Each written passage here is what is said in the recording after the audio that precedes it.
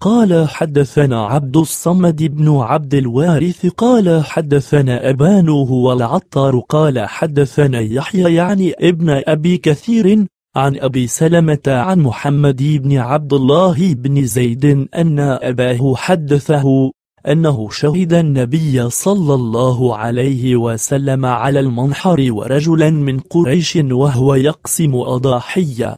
فلم يصبه منها شيء ولا صاحبه فحلق رسول الله صلى الله عليه وسلم رأسه في ثوبه فأعطاه فقسم منه على رجال وقلما أظفاره فأعطاه صاحبه قال فإنه لا عندنا مخضوب بالحناء والكتم يعني شعره قال حدثنا أبو داود الطيالسي قال حدثنا أبان العطار عن يحيى بن أبي كثير أن أبا سلمة حدثه أن محمد بن عبد الله بن زيد أخبره عن أبيه أنه شهد النبي صلى الله عليه وسلم عند المنحر هو ورجل من الأنصار فقسم رسول الله صلى الله عليه وسلم ضحايا فلم يصبه ولا صاحبه شيء فحالق رأسه في ثوبه فأعطاه وقسم منه على رجال وقلما أظفاره فأعطاه صاحبه فإن شعره عندنا مخضوب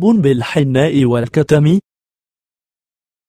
قال حدثنا زيد بن الحباب أبو الحسين العكلي قال أخبرني أبو سهل محمد بن عمرو قال أخبرني عبد الله بن محمد بن زيد عن عمه عبد الله بن زيد أنه أري الأذان قال فجئت إلى رسول الله صلى الله عليه وسلم فأخبرته فقال ألقه على بلال فألقيته فأذن قال فأراد أن يقيم فقلت يا رسول الله أنا رأيت أريد أن أقيم. قال فأقم.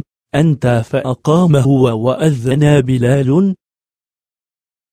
قال حدثنا يعقوب. قال أخبرنا أبي عن ابن إسحاق. قال وذكر محمد بن مسلمين الزهري عن سعيد بن المسيب عن عبد الله بن زيد بن عبد ربه. قال لما أجمع رسول الله صلى الله عليه وسلم أن يضرب بالناقوس يجمع للصلاة الناس وهو له كاره لموافقته. النصارى طاف بي. من الليل طائف وأنا نائم رجل عليه ثوبان أخضران وفي يده ناقوس يحمله. قال فقلت له يا عبد الله أتبع الناقوس قال وما تصنع به؟ قلت ندعو به إلى الصلاة. قال أفلا أدلك على خير من ذلك؟ قال فقلت بل. قال تقول الله أكبر الله أكبر الله أكبر الله أكبر. أشهد أن لا إله إلا الله أشهد أن لا إله إلا الله أشهد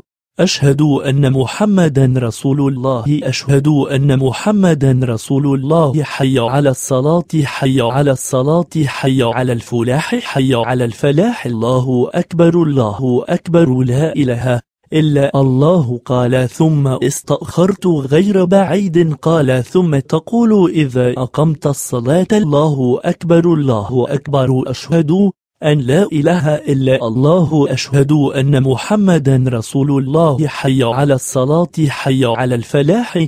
قد قامت الصلاة قد قامت الصلاة. الله أكبر الله أكبر. لا إله إلا الله. قال فلما أصبحت أتيت رسول الله صلى الله عليه وسلم فأخبرته. بما رأيت قال فقال رسول الله صلى الله عليه وسلم إن هذه لرؤيا حق حق إن شاء الله. ثم أمر بالتأذين فكان بلال مولى أبي بكر يؤذن بذلك ويدعو رسول الله صلى الله عليه وسلم إلى الصلاة. قال فجاءه فدعاه ذات غداة إلى الفجر فقيل له إن رسول الله صلى الله عليه وسلم نائم قال فصرخ بلال بأعلى صوته الصلاة خير. من النوم قال سعيد بن المسيب فأدخلت هذه الكلمة في التأذين إلى صلاة الفجر.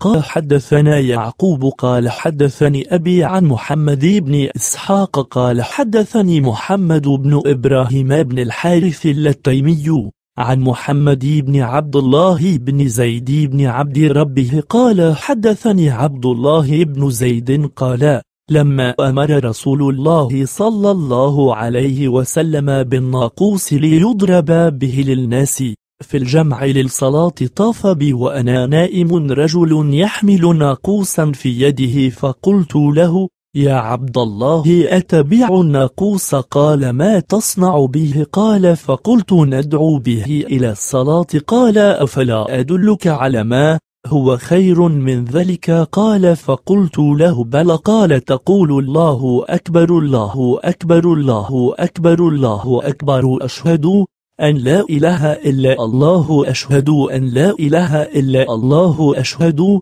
أشهد أن محمدا رسول الله أشهد أن محمدا رسول الله حي على الصلاة حي على الصلاة حي على الفلاح حي على الفلاح. الله أكبر الله أكبر. لا إله إلا الله. ثم استأخر غير بعيد ثم قال تقول إذا أقيمت الصلاة الله أكبر الله أكبر. أشهد أن لا إله إلا الله أشهد أن محمدا رسول الله حي على الصلاة حي على الفلاح. قد قامت الصلاة قد قامت الصلاة. الله أكبر الله أكبر. لا إله إلا الله. فلما أصبحت أتيت رسول الله صلى الله عليه وسلم فأخبرته بما رأيت فقال إنها لرؤيا حق إن شاء الله فقوم مع بلال فألق عليه ما رأيت فليؤذن به فإنه أندى صوتا منك قال فقمت مع بلال فجعت ألقيه عليه ويؤذن به قال فسمع بذلك عمر بن الخطاب وهو وهو في بيته فخرج يجر رداءه يقول والذي بعثك بالحق لقد رأيت مثل الذي أري قال فقال رسول الله صلى الله عليه وسلم فلله الحمد